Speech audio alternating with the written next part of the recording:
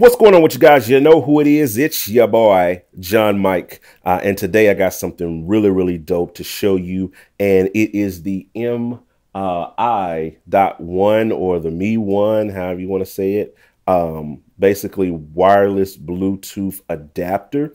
This thing plugs up into any standard MIDI port uh, on any keyboard. I've been using it with my uh, controllers you know, with my uh, MIDI controllers uh, because I don't have any hardware keyboards. Uh, I just use MIDI controllers and software instruments exclusively when I gig and when I produce in the studio and all of that. Uh, so I've been using this with my MIDI controllers and it works wonderful. I mean, there is very low latency, uh, if uh, if any noticeable latency. And that was my big thing when I was thinking about Bluetooth. Is there going to be latency with it? Because I've dealt with Bluetooth audio and there's always like a slight a slight latency in the in the sync of audio uh, with, when it comes to Bluetooth. And you know, in a church environment or in a live gig environment, a split second or a split hair of latency will throw everything off. But not with these. Not with these.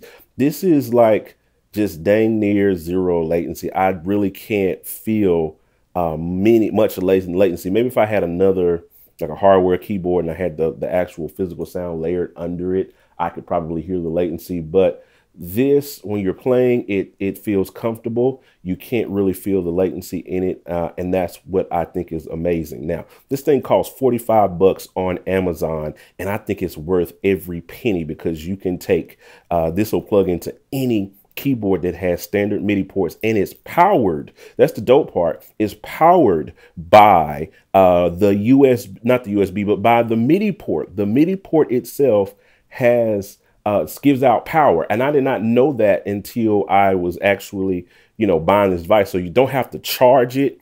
Uh, you don't have to plug it up to a socket or anything like that.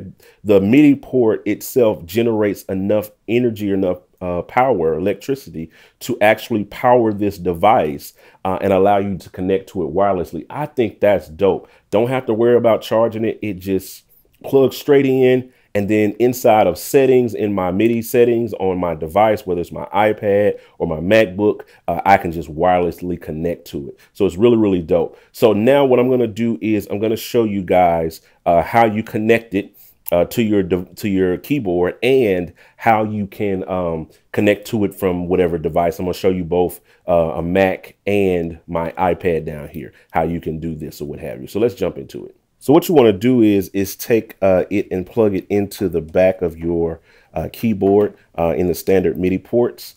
Uh, and then once you get it plugged in, you'll see that there's a little indicator light that starts blinking as soon as you get it in there.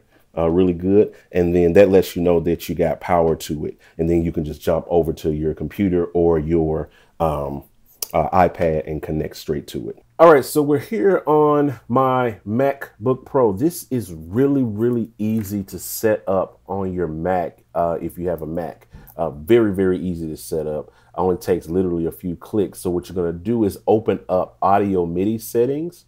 Uh, let me close this for a second, but audio MIDI settings.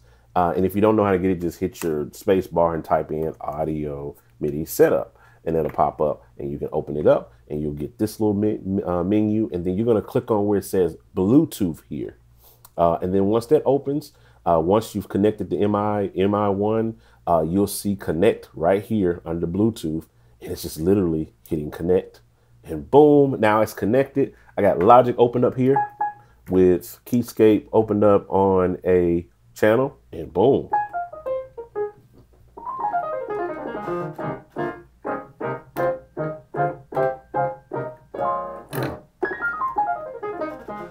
I mean, no latency. I can record and play just like that uh, and do that in any software. There's really no other connections I need to make. Now, with that said, we'll close that uh, and we'll disconnect it. If you're, let's say you're using something like, like I do this all the time. I use Omnisphere standalone by itself uh, in live performance.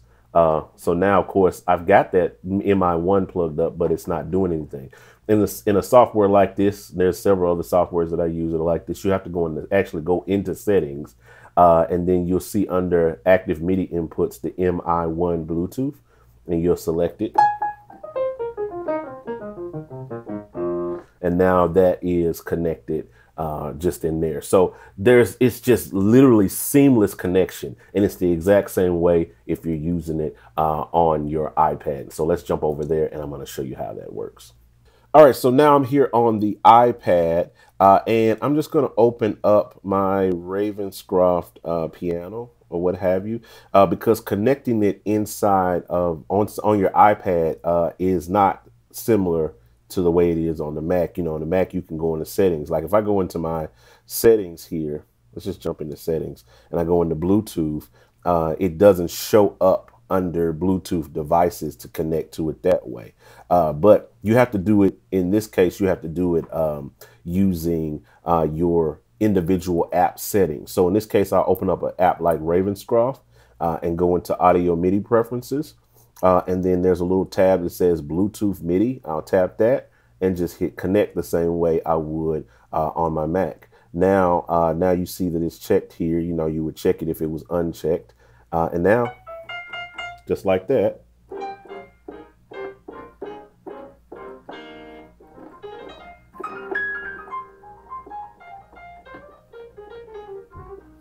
I got it connected right there just perfectly. I think this is absolutely amazing and a game changer. So um, I can also open up an app like, uh, let's just go with the Korg module.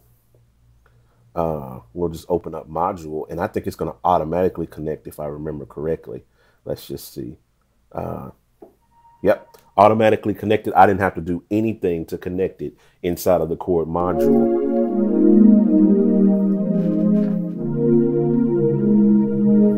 It just automatically connects. So that is just the, the very easy and simple way that you can connect this device um, and use it to play uh, uh, live or use it for recording inside of the studio. There are so many applications. Uh, I'm personally looking forward to just using this live in my live setup uh, at church when I play or when I go out and gig. It's just amazing that I can take this uh, out where I need to take it uh, and, and make it happen. So that's it. That's pretty much how this device works and how you can use it uh, using your Mac, your uh, computer. Uh, I don't have a PC to test this on, so I can't tell you how it would work if you have a PC or, or an Android device. Uh, so I can't really give that knowledge to you, but I can show you how it works on Mac. But my question to you guys, I'm going to toss a question to you. Uh, have you ever tried Bluetooth uh, MIDI or ever thought about using Bluetooth MIDI uh, for your uh, studio or for live performances. If you have, tell me what what devices you've tried, what you've used. There, this isn't the only one that's on the market. There are several devices that do this on the market. So let me know in the comments what device that you've tried or used, if you have, or if you haven't used it or thought about using it. Is this does this video make it make it interesting to you?